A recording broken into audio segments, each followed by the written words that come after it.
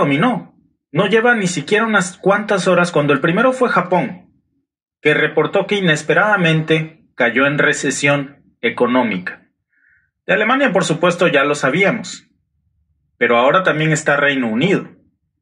Y esta lista seguramente va a desencadenar una serie de países más que estaban bailando en la cuerda floja de la recesión para provocar una recesión mundial. Con una contracción del 0.4% en el caso de Reino Unido y en el caso de Japón, una contracción de 0.3% en los últimos tres meses del 2023. Estos no son simplemente números, son indicativos de una tendencia descendente que ha sido constante desde mediados de año y hoy lo estamos viendo. Pero ¿qué significa esto realmente? Sobre todo para nosotros, los ciudadanos comunes, para el mercado global y también para las relaciones internacionales. ¿Cómo va a afectar esto a nuestros bolsillos, a nuestros empleos, el costo de vida, poner comida en la mesa, nuestros trabajos y la política monetaria de todos los países del mundo. Yo creo que esto es algo que hoy debe de estar en los titulares del mundo porque lo que tanto temíamos acaba de pasar. En el Reino Unido la situación es igual de alarmante, un crecimiento anual de apenas el 0.1% en el 2023. Este número, 0.1%, es el más bajo desde la crisis financiera del 2009. Así de grave es esta situación. Estos números no son solamente un golpe duro o una cachetada para la mayoría de eh, los ciudadanos británicos. Es también un desafío directo al liderazgo del primer ministro, por supuesto, Rishi Sunak, que prometió revitalizar la economía británica y los resultados son totalmente contrarios. Pero no nada más es Reino Unido, también es Japón, Alemania y en las próximas horas veremos cómo se sinceran más países del G7 en una estrategia actual que está centrada en combatir la inflación a través de tasas de intereses más altas. Y eso ha generado un debate muy intenso. ¿Es realmente subir las tasas de intereses el camino correcto para que la gente eh, pueda eh, cuidar de sus bolsillos, considerando sobre todo el impacto directo en el costo de vida que a nosotros nos causa cuando suben las tasas de intereses?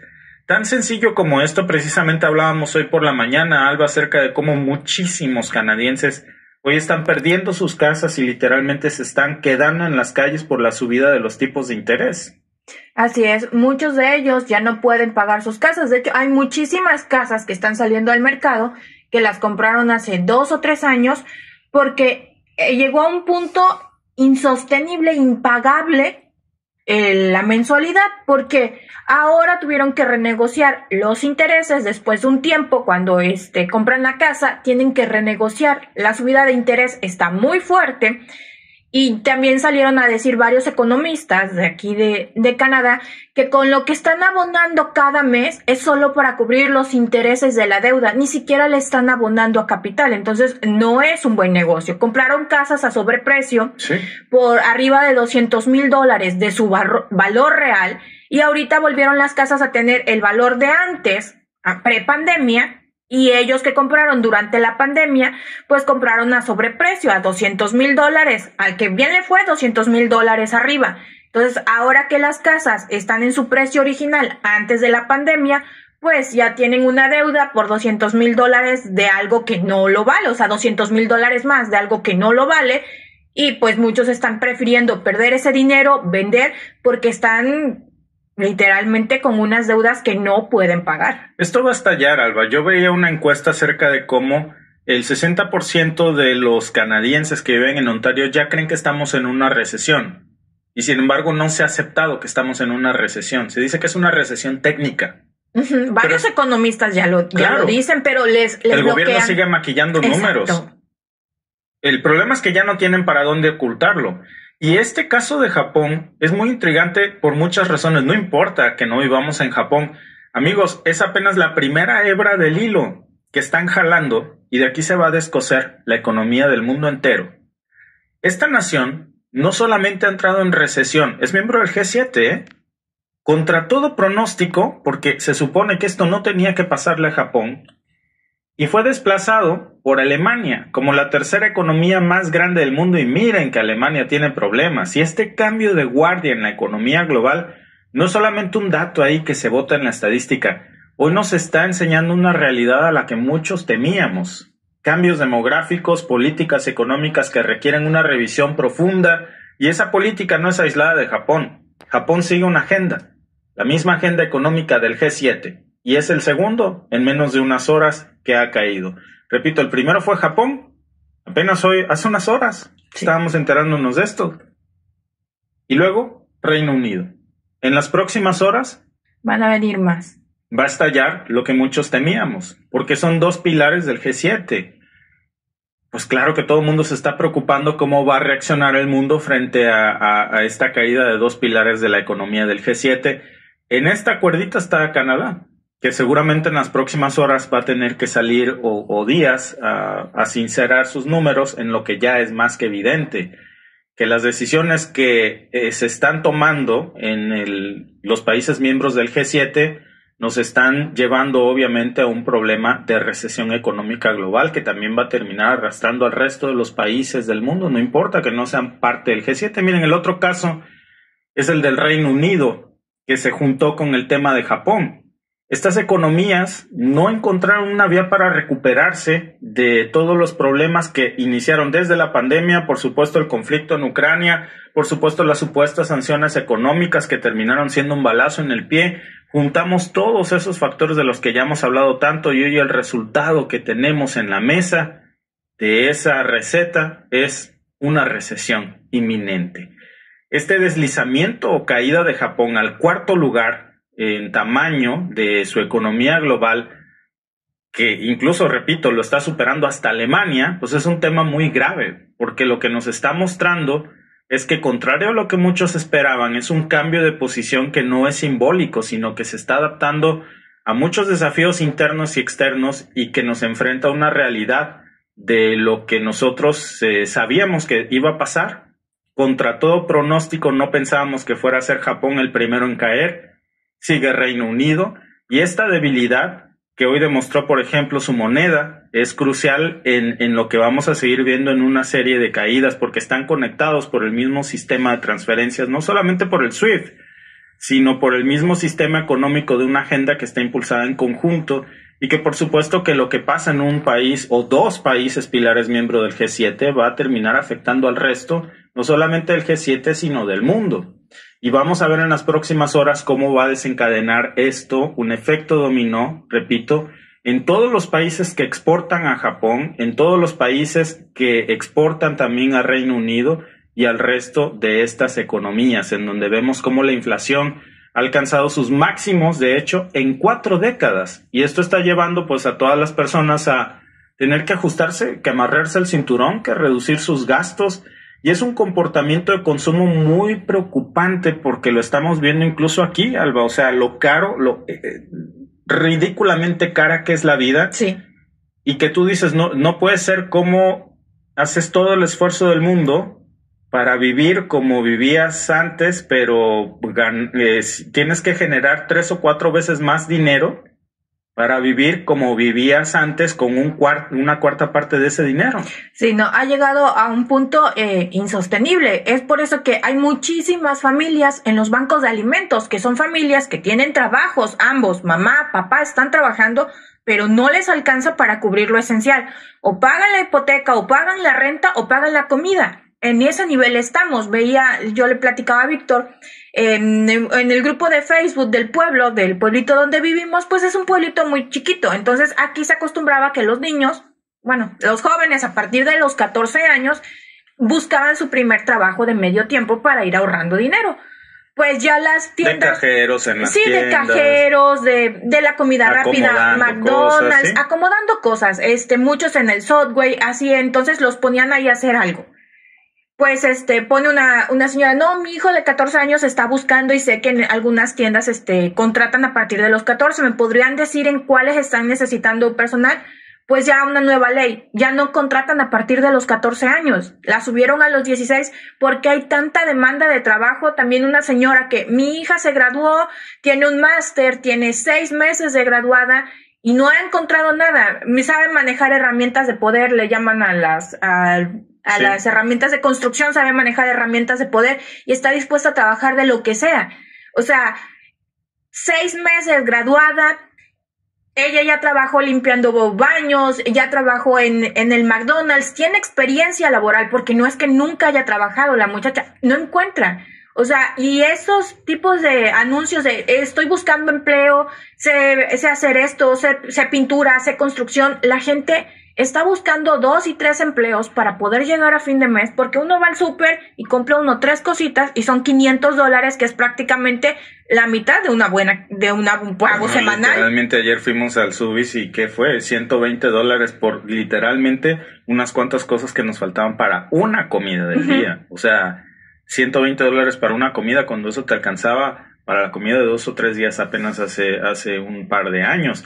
Y hoy estamos viendo precisamente lo que tú dices, Alba, que el tema de que ahora vemos como estos trabajos que antes los ocupaban los jovencitos como medio tiempo para comprarse sus cosas que quisieran, ahora los, los toman las personas adultas porque después de su trabajo full time de tiempo completo toman dos o tres trabajos de medio tiempo que antes eran de los adolescentes porque el dinero no alcanza. Y ahora miren, la cosa es que si una economía tan grande y avanzada como la de Japón ya cayó, y si horas después, literalmente horas después de que Japón anunciara su caída, esto está avanzando muy rápido. Vimos la caída de otro gigante como Reino Unido en tan pocas horas, entonces, ¿qué creen que le espera al resto del mundo en las siguientes horas? ¿O en los siguientes días? Esta revisión a la baja del pronóstico de crecimiento de la zona euro por parte de la Unión Europea, que fíjense aquí tengo los números, pasaron del 1.2% y hubo una reducción al 0.8%, le echa más leña al fuego del pesimismo económico global. Esto todavía no está señalando los efectos formales de una recesión mundial, pero los primeros síntomas acaban de comenzar apenas hace una hora y lleva un camino muy claro en esta hilera de efecto dominó, en donde el crecimiento hoy está muy por debajo del 1%, y esa es una señal, amigos, una señal muy grande, roja, de alerta, que no se puede ignorar, porque es un ambiente de incertidumbre económica de gigantes del G7, que no solamente está afectando a sus economías, sino que está, repito, pasándose a traer al resto de los países, aun cuando no sean miembros del G7, en una recesión de las economías mayores que está enviando, por supuesto, ondas de choque al resto del mundo. Porque hay una interconexión que nadie puede negar de nuestras economías, sobre todo estos gigantes. Y eso significa que ningún país es una isla económica. Y los problemas económicos en una región del mundo, sobre todo de países de primer mundo, así, va a afectar, por supuesto, al resto de las naciones. Y aquí, amigos, lo que tenemos que preguntarnos es si estamos viendo señales claras de una recesión global inminente o si son desafíos temporales que puedan ser superados, cosa que francamente, y déjenme darles mi opinión, lo dudo mucho, porque estamos viendo esta escalada hasta dónde llega el punto de la interconexión que primero cae Japón, luego cae Reino Unido. Literalmente las cosas en Canadá están muy difíciles. Veía yo una encuesta que con todo gusto ahora se las comparto eh, de, que, la gran mayoría de las personas que ven en Ontario piensan que nosotros ya estamos en una recesión eh, silenciosa. Y mientras muchos expertos hoy se están manteniendo optimistas y están creyendo que puede todavía haber una recuperación, la realidad en menos de unas horas ya nos demostró algo muy diferente, que ese camino a la recuperación es muy difícil y que las soluciones van a incluir políticas monetarias y fiscales que tienen que ser más flexibles incentivos para la inversión empresarial que tendrían que implicar que el G7 se equivocó con la subida de tipos de interés, que lo único que está causando es el quiebre de millones de familias, Alba. Sí, Así es. Mira, veía yo el comentario eh, de nuestra amiga Cintia M. Dice, antes yo hacía despensa con tres mil pesos por semana. Ahora ya con tres mil quinientos pesos ya no me ya no se compra lo que se compraba antes. Y eso que es en unos meses. Sí, es que es la alza de precios está terrible, terrible donde sea. Muchas gracias a nuestra amiga Camelia La Tejana eh, por tu superchat, amiga. Y también a nuestro amigo Enrique Javier. Muchas gracias, amigo. Y dice, hola Víctor y Alba, mi esposa y yo lo seguimos desde hace año y medio. Somos médicos. Saludos desde nuestra amada Atenas Veracruzana, Jalapa, Veracruz. Ah, Bienvenidos, la abrazos hasta la bella Veracruz. Y sobre mi todo bella hasta Jalapa. nuestra bella Jalapa, claro. Sí, claro que sí. Vamos a ir y nos vamos a, nos vamos a hacer una reunión por allá, amigos. Eso estaría muy bueno. Sí. Nos encantaría conocer a, a tanta gente por allá que no tuvimos el gusto de conocer en persona cuando vivíamos allá y ahora Podernos, podernos conocer. Muchas gracias también a nuestro amigo Rubén Tristan por tu eh, super sticker, amigo. Muchas gracias por, por todo lo, este, por el apoyo que nos dan en el canal. También veía mm, un comentario muy interesante de nuestro amigo, este, el compadre Palomino, que dice, aquí en California dicen que si tú y tu pareja ganan 160 mil dólares al año son considerados low income o bajos ingresos. Imagínense, si ganas 70 mil años, eres un, un, una popó seguro. Sí, justo le decía a Víctor que estaba viendo que me dio mucha risa. El first time home buyer Eso iba yo a decir. es, es una es, es una Es una cachetada en la cara para los canadienses de verdad. de mamá del gobierno. Miren, aquí en Ontario y en Canadá hay un programa que se llama First Time Home Buyer, o sea, comprador de casa por primera vez. Entonces, para calificar a este programa, tienes que ganar combinado entre tu pareja y tú 120 mil dólares o menos. Dices, ok, está muy bien. Es como para las familias consideradas de low income. Me parece De bajos fenomenal. ingresos. De bajos ingresos. Está bien. 120 mil dólares, no más. Si tú ganas 120 mil dólares con un dólar, ya te- no aplicas. te Porque fregaste. se supone que ya, Ya no. no. vas a comprar una casa con eso. 120 mil dólares. 120 mil Entre dólares. los dos. Entre los dos, no uno, entre los dos. O sea que, Alba, si tú tienes un trabajo full time de estos que les dicen eh, trabajos de sobrevivencia, como por ejemplo, qué sé yo, los que todos agar- agarramos recién llegando, ¿no? Que te empiezan Amazon, no sé, alguna warehouse, vas a ganar más de 60 mil.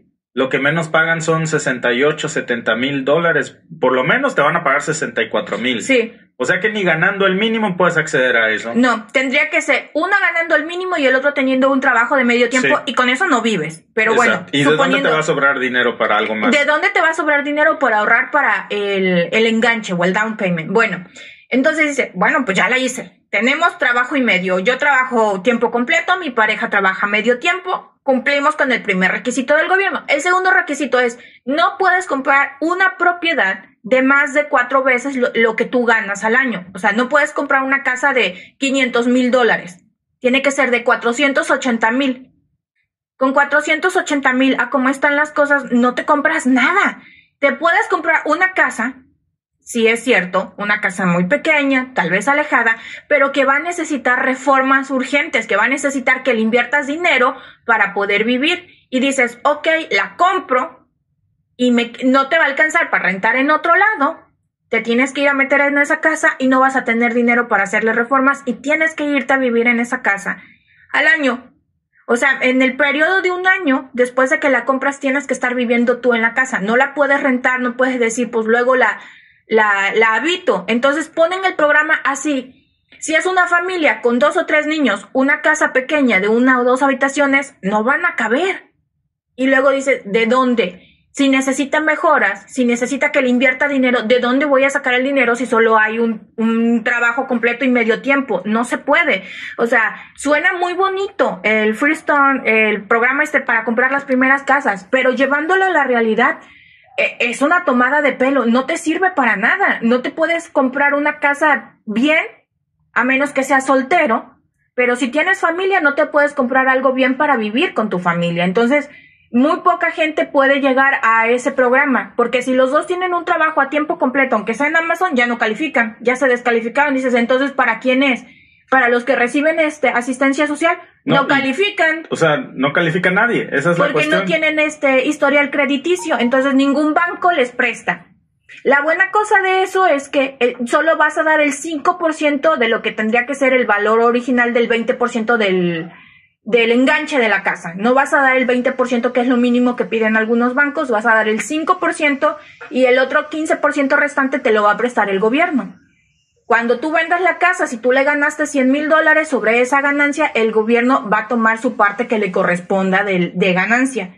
Si la casa se devalúa y la vendes en menos, el gobierno asume también contigo la, pues el riesgo financiero y, cobra menos, pero si hay ganancia, el gobierno se lleva su tajada. Mira, Alba, pero fíjate, las cosas aquí están mal. Es cuestión de tiempo para que el gobierno nos, nos tienen que decir la verdad, una verdad que están ocultando. Y no es mi impresión personal, ¿eh? no es una cosa de, de hablar mal.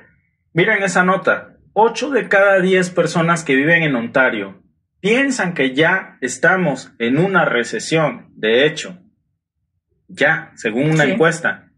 O sea, ¿por qué, ¿por qué tenemos ese sentimiento 8 de cada 10? Porque el dinero no nos alcanza, porque no es suficiente, porque muchos creen que jamás van a poder tener una casa, porque muchos ni siquiera pueden pagar una renta y son desalojados, porque tienes que tener dos o tres trabajos para poder solamente sobrevivir poniendo comida en la mesa. Ah, pero mi bello Trudo ha anunciado hoy 60 millonzotes de ayuda a Ucrania para que tenga al tiro sus nuevos aviones F-16 eh, que se le van a entregar. Es una cachetada en la cara para todos los que pagamos impuestos. Es, es que esto, de verdad, sigan a Pierre Polier, porque es, es el líder de la oposición, pero es que estas cosas, amigos, o sea, son de verdad una cachetada en la cara cuando a tantos nos cuesta poder llegar a fin de mes, pagar nuestros impuestos, que cada vez es más y más y más.